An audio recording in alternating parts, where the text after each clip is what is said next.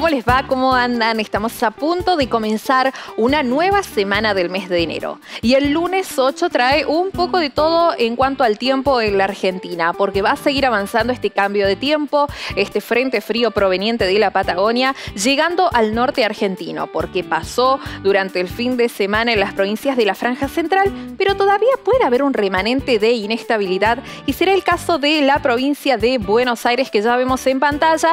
En cuanto a las temperaturas, cómo viene el día lunes. Van a empezar a subir las máximas con valores cercanos a los 30, 31 grados, un ambiente cálido, acaluroso, húmedo, pesado e inestable durante las primeras horas del día lunes. Puede haber un remanente de inestabilidad en el norte con la probabilidad de algunos chaparrones, algunas tormentas aisladas. Luego, nubosidad en disminución. Sale el sol, un verdadero bombazo de humedad, un lunes pesadito para usar ropa clara, liviana, protector solar y botellita de agua. Y hacia la tarde se podrían generar nuevamente algunos bancos de inestabilidad, incluyendo de que se desarrollen probablemente algunos chaparrones y tormentas aisladas. ¿Dónde? En costa atlántica. Así que la gente que se encuentra de vacaciones, paseando por Mar del Plata, Villa Gesell, Necochea y alrededores, a tener en cuenta porque podrían desmejorar las condiciones hacia la tarde del día lunes, pero mejorando para finalizar la jornada con la primera parte del día, viento del sector sudeste, sur-sudeste, que no va a alcanzar a modificar